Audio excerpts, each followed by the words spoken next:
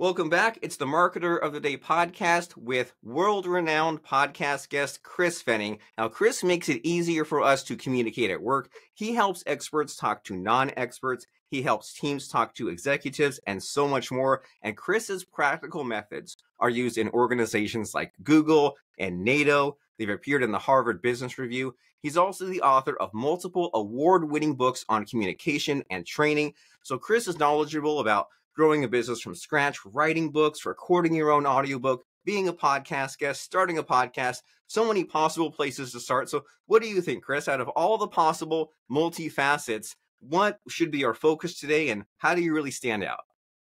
All right. Well, Robert, first of all, thank you for having me as a guest on the show. Uh, it's a real pleasure to be here.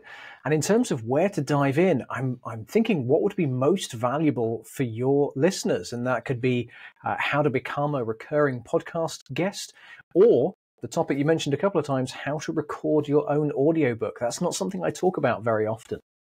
Okay, well, I I think maybe I like the for the the main idea to be the podcast guest, and then if we have time near the end, that audiobook thing. So that way we're getting to like the low hanging fruit plus the not talked about enough. And as far as the podcast guesting, like this show, I've done over a thousand episodes, but I've probably only guested on maybe 30 or 40 podcasts. So I don't know if it's like a mental block or just different context switching mm-hmm. or what the idea here is, is. But just to get our listeners caught up, guesting on a podcast, what you're doing right here, right now is what that is. But as far as like the big picture, the master plan, why do you do it? And what's the whole just strategy look like?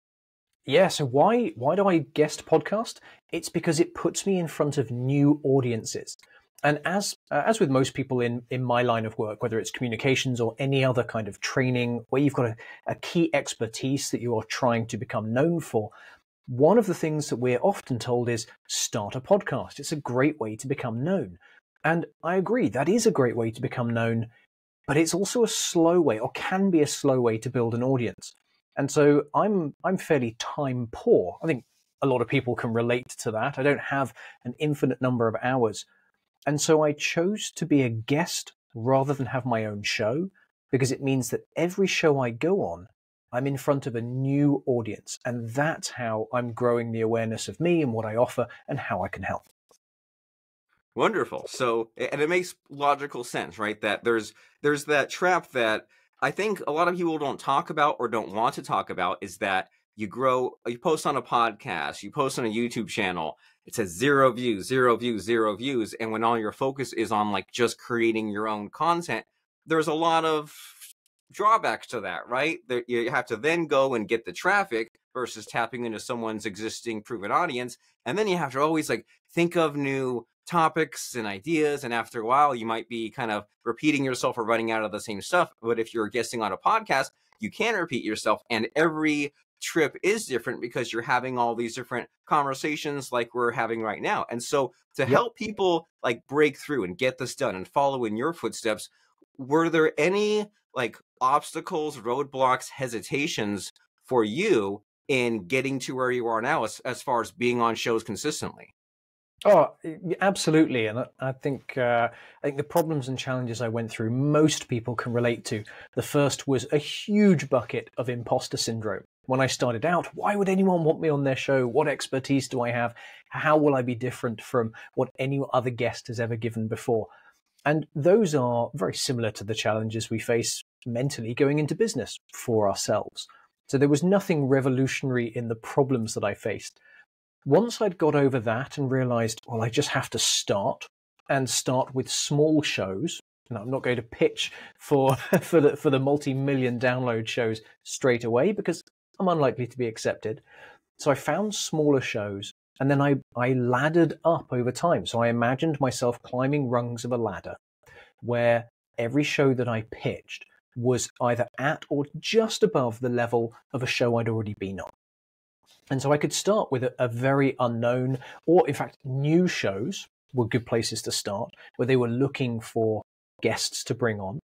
I'd apply, I'd get onto some of those, and then I'd use that experience to apply to other shows. And how I overcame some of the challenges, particularly finding shows to be on, are two methods that I use. One is a podcast of marketplace. There's one called Podmatch, and there's another one which I think is called Matchmaker.fm. Uh, I'd want to double check that before we put it in the show notes in case you end up on a dating website. But one of them sounds like a dating right. website. But both of them list shows that are looking for guests. And that was a great place to find new shows. And the second method was researching, both Googling and looking at what comes up in my own social feeds, because of course I have my network of communications people around the world. What shows are they on? And if those shows are interested in communication, it's a pretty good chance that they'll take my pitch when it when I feel ready to apply to those shows. Well, great. So two very, I mean, two good techniques, but also some reassuring mindset there, right? I love the ladder analogy concept imagination tool of just saying like hey well i i don't need to get on like joe rogan or something but i just need to be at or or the level i'm at and if i'm not on any shows yet then new podcasts are great because they're looking for guests and it's a good way to make the mistakes early and ease the nerves. And isn't that so true with so many situations in life? If you're afraid of driving a car, going on a date, going to that job interview, going to that first day of school, whatever. Well, if you haven't done it before, of course you're nervous, but you do it a few times and embrace the awkwardness and power through. And it never was quite as bad as you imagined it. And then you do it again, and then you can just remind yourself, hey, you know, I was on these other podcasts, and there's no way it can be worse than that other appearance I went on. And, yeah. and speaking of that, have you ever had any like really bad experience? Because I'm sure like there our our subconscious tries to keep us safe, right? And like if we're about to yes. do something new and risky, it imagines the worst case scenario for us. So, but I think when I've attended some podcasts, I can't really think of any situation that was like really bad. Like maybe it would be like a little bit awkward, but I would kind of get over it and not overthink it. But I'm curious, like, have you had? Um, we're not naming names here, but any kind of bad or less than ideal podcast guesting experience? Yes, there are two that come to mind. One, uh, one was very personal exploration of uh, of a family situation. So it wasn't related to my work. It was being a guest on a business for dads podcast show, and I was telling a very personal story of uh, of the challenges that my wife and I had it, you know, getting getting pregnant and having our daughter, and I choked up completely in the middle of it. Had to stop it's the only time I've ever had to stop recording. Everything else I've done has been a one take, and it was I was in floods of tears. And in the in the show, in the end, the host did a wonderful job of sort of fading out and giving a little voiceover and explaining what had happened, and then we came back to the story. So emotionally, that was an incredibly challenging uh, podcast episode to be in, but also a great exploration of a very tough topic. The second example, which is definitely business related, was I was on a show which I'm so glad that the host sent me the questions beforehand because they made no sense. They made no sense at all. It was a question in 17 parts with unrelated things, with grammar that was all over the place. And it was one of the shows where the host had scripted out their portion and read it word for word. And if they hadn't sent it to me, I would have had no clue what I was actually being asked or what they wanted me to focus on. And that's part of my expertise is being able to take those challenging questions and, and get to the core of them and focus just on one piece. But I was totally lost. So they'd sent me the, the info about a week before. And I it took me a good couple of hours to work out how to answer these six questions in a way that wouldn't have just seemed like garbage to the to the audience. That was incredibly difficult and not a show I'll be eager to go back on. Well, sure, and and so there's there's two good lessons in there, right? In the the dad podcast where you got choked up, that's a reminder that I, I didn't have this aha until a couple of years ago that there's there's no sense in looking for the perfect conversation. And I, I found myself at some point just having having a great conversation with someone, and then later on, just I would feel my my excitement level just drop off a cliff. And I would think like, oh, well, of course it did because I would talk to this person, I'm super jazzed up, excited, and then back to reality. But I would feel the the deep sinking down, and almost like with the mom- the downward momentum, I would feel worse than the baseline before I spoke to that person. And I would think, what's going on here? And thinking about like I should have, could have said that or made that joke, and I realized there's no point in thinking of the perfect conversation. And at one point, Oh, someone yeah. said something that was like, "Well, that that thing that you said that you thought was so clever, maybe they didn't even notice or think otherwise. And then that other thing that you said that you thought was so ordinary might have been what the the host or the audience or whoever else thought was really amazing. So eh, there's no sense in driving yourself crazy with that. And I, I'm reminded Oh of that the because ordinary that that that ordinary thing, the thing that we forget was revolutionary or we just don't think is valuable. Someone will pick up on and go, "That one thing." Like what? What one thing? Oh no, that sentence. You said this. I'm thinking, oh gosh, that was that was the least clever or the least great thing in my repertoire. And yeah, and uh, exactly as you say, people go, oh no, that was that's the bit that really helped me. We are you and I other authors, podcast hosts, podcast guests, we are generally the worst judge of what our audience is going to find valuable because we think we know. And it's only when we go out and talk to the eventual listeners or readers, if you if you write books, that they will pick up on the particular nuggets. And yeah, we're terrible judges of what people will find valuable. So keep putting out some variety.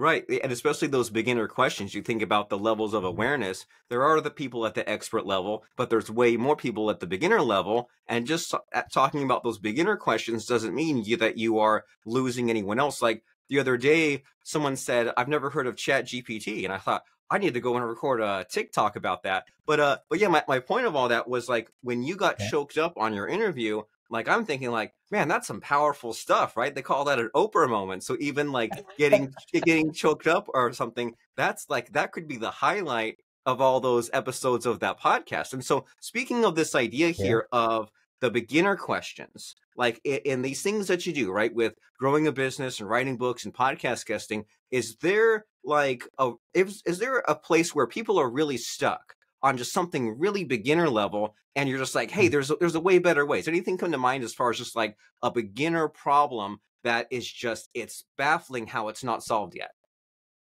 Oh, oh, I thought I had an answer until that last bit. So a beginner problem would be where where do I find shows? That's the that that's the first bit, and you know you go to A- Apple or Spotify and just start scrolling. But where do I find shows? And the solution is is Google, and and Google for shows, and you'll come up with top ten lists, top thirty lists of a particular topic, and then start following the trails and the rabbit holes.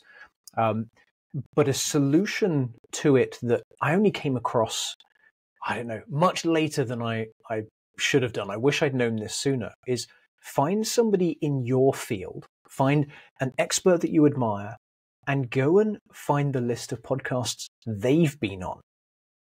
And then that's your list to go after because those are shows that are interested in the topic that you want to talk about. And I've yet to find a nice solution for how to do that. It would be great if there was a service. So this is this is the answer to that second part of the question. It's baffling how this hasn't hasn't been found yet. Wouldn't it be nice if you could say this person and then produce the list of all the shows that they've been on? That would be Yes. an amazing service. It would. And, and you're right that there there's like close approximations to that, right? Like that there's listen notes. That's helpful sometimes because you can search, but then it's definitely not complete.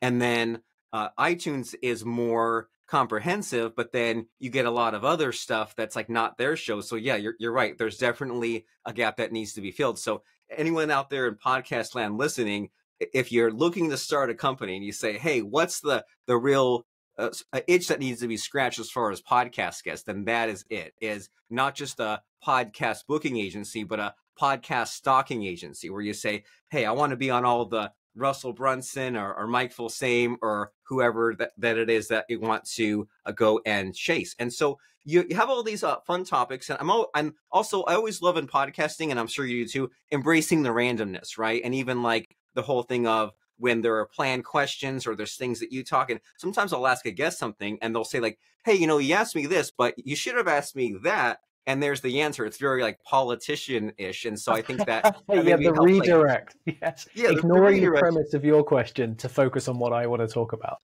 Yeah, and it it ease it, it kind of eases the nerves because it's not like you're appearing on like a like a big news show, right? You're not on on Fox News or CNN or something. They're not looking to like catch you in a saying the wrong thing. They're here to mm. help you, right? You're you're both yes. there to to be to have a benefit. That show needs the content and a fun conversation and get an audience and listeners, and you're there to get some of your own thought leadership expertise. And so, as far as uh, we've kind of talked about like easing the nerves and the process and finding shows, and what do you do like as far as the relationship building? Because there's like warming someone up, and I'm sure there's some kind of like follow up after. So, what are your thoughts on the kind of the the softness, the vagueness that the peopling?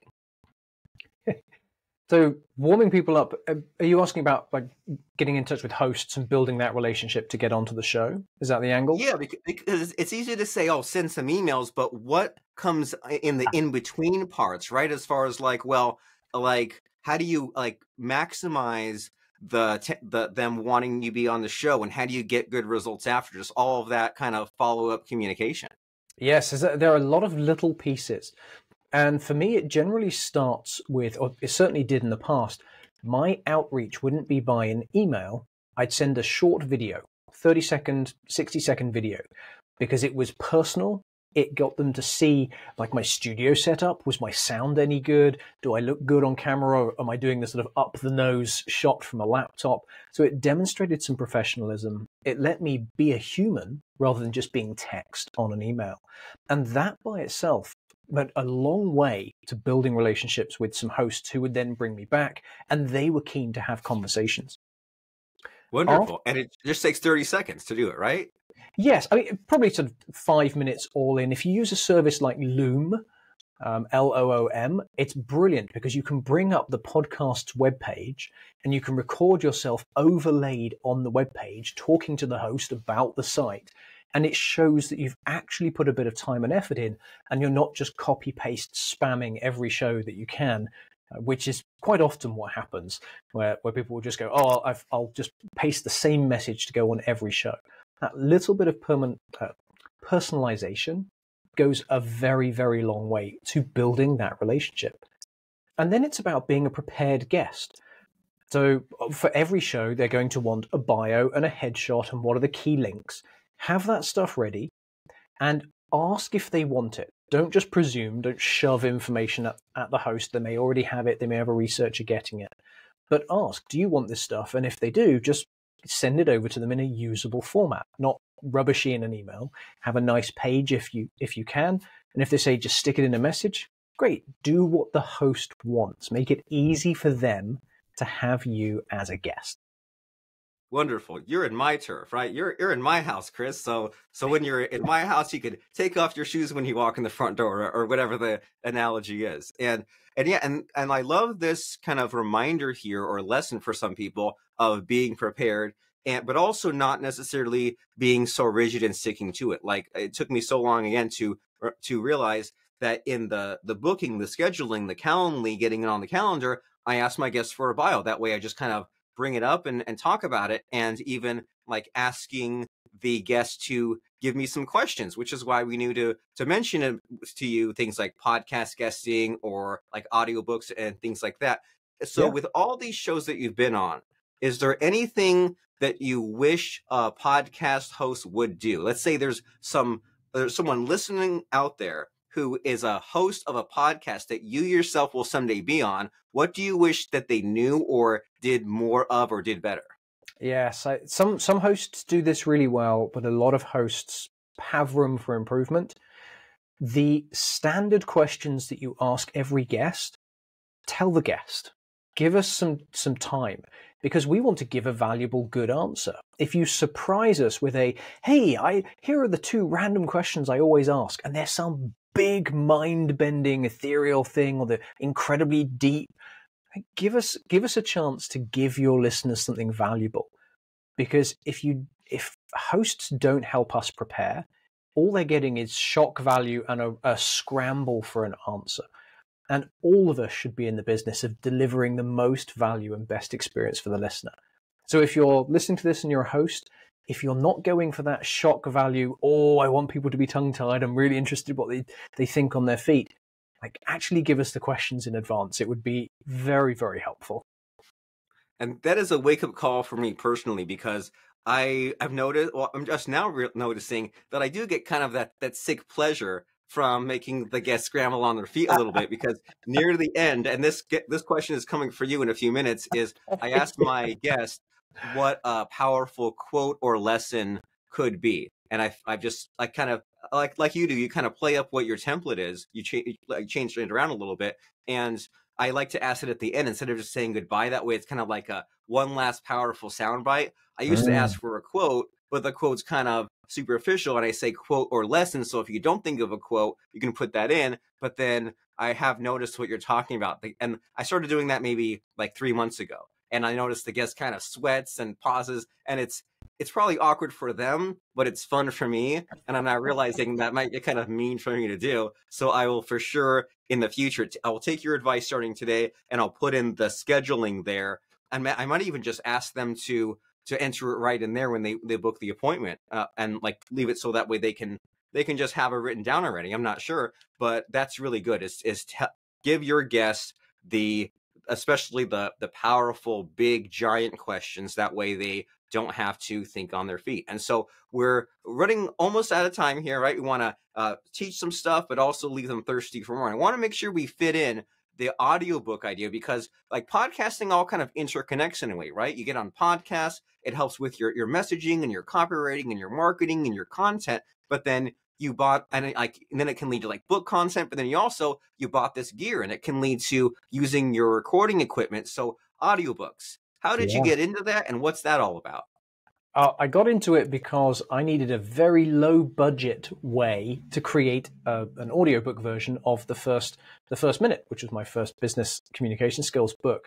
And I I was time rich, money poor when I started doing this. So I went, I thought, well, I can't afford to go and get a big studio and I don't have a huge uh, space that I could permanently build up into a studio, but I do have microphones and I do have a bunch of padding and things in my, in my house. So I found the low cost, super budget way where I made a little den with mattresses propped up and sheets and blankets over them to create soundproofing and used some of the equipment that I'd got to be a podcast guest. Unfortunately, once I started doing that, I discovered just how noisy my neighborhood was. And uh, all we could spend some interesting time talking about what I heard my neighbors doing once I was oh, recording oh. in a very quiet environment. And so uh, that's how I got into it. I needed to, an audiobook because it was another channel to get my message out to listeners. But what I discovered was it is actually quite a fun process for me. I did enjoy doing it. And I do plan to record my next two books as audiobooks as well, because I invested in better microphones. I invested in the software that would enable me to do the editing. And then I started to geek out a little bit and rather enjoyed the back end. Right. And, and just figuring out all these other things, right? Jumping into this other world. And you're so right that with the, when you just get in gear for podcasting, you don't notice that much like this car outside or this fan going. But boy, when you have to do the audiobook narration, you you get a, a, better awareness of the world and just like all the little noises and just the, the tiniest little thing makes yep. um you know it makes a little blip in the in the waveform right there uh, and oh, but yeah. that's kind of but that's it's a good fun kind of adventure story there of just when you're doing this business owner entrepreneurship thing there's all sorts of things you just have to figure out right and yep. a lot of people just give themselves excuses and say oh well you know i can't afford an audiobook narrator or uh, I, I i can't figure out this gear i might as well just not do it but sometimes it's like hey is it 100% perfect no is, is it your first recording yes and then you get better and kind of upgrade from there and so do you record other audiobooks or was this just for your own?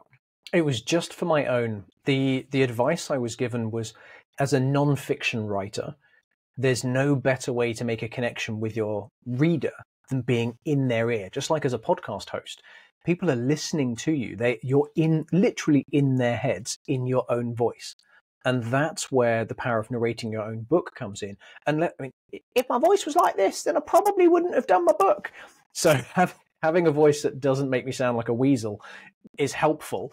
Um, but that that kind of thing needs to be considered. Like, don't record when you've got a bad cold. I have listened to an audiobook that somebody recorded with a cold, and it was terrible. So, recording in your own voice is a very powerful way to make a good connection with your audience. If you have the time, effort, inclination, can get to a studio, can set your own one up, and so on. But I also know people who've had great success like hiring out to narrators. Not not my preference, but each to their own.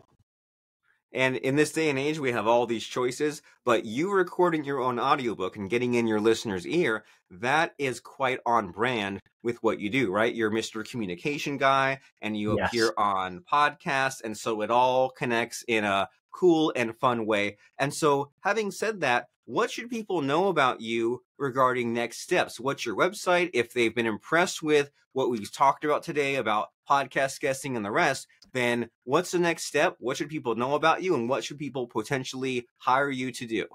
Yes, if you want to work with me, here is the problem that I can help you solve. If your team struggles to communicate with itself or with other teams at work, I can help solve that problem. There's a bunch of things that I can do, but if your team is struggling to communicate with other people, experts to non experts, or teams to executives, that kind of thing, that's where I can help. How to get in touch with me? Come and find me at chrisfenning.com or my social hangout is LinkedIn. So look for Chris Fenning and you'll find me there.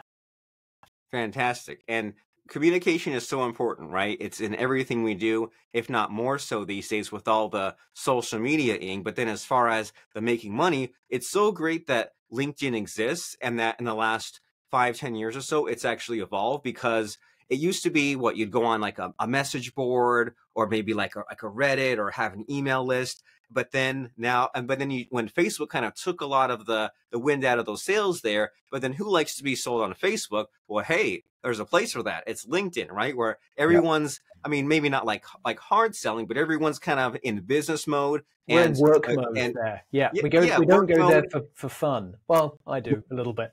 Well, well the, the, depends, right, depends on how much dynamic. of a workaholic you are. Yeah but uh but, but yeah and, and we buy things on linkedin we sell things on linkedin and so there's definitely a place to that but we still have to navigate that nuance of communicating and then when we get on podcast same idea right? It's that there's all these different shows and you sometimes have to adapt what you have to say into what their show is about and ha- come in with the preparation but also have enough of the dynamicness, dynamism, who knows what the word is, just to kind of be up thinking on your feet and to just have these fun conversations that are fun for you, but also fun for that audience as well. So as people are going to chrisfenning.com, it's it's scary question time, Chris, right? We got you prepared for it. We said that I was going to drop the bomb of a favorite quote or lesson. So what comes to mind there as far as just something to help us out, get us excited, send us on our way? Well, as a, a lesson, this came from my dad, and it's if you want to do something, don't just talk about doing it. Get out and actually do it. Fantastic. So, and what's your dad's name, by the way? Jeff. So, Jeff Fenning. Is that a That's correct right. quote? Yep. Jeff Fenning. Yep.